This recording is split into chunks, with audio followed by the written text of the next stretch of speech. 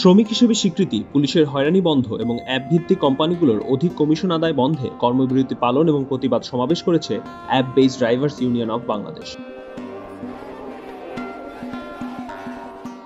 আজ সকালে প্রেস ক্লাবের সামনে দাঁড়িয়ে ছয়টি দাবি পেশ করেন ইউনিয়নের নেতারা।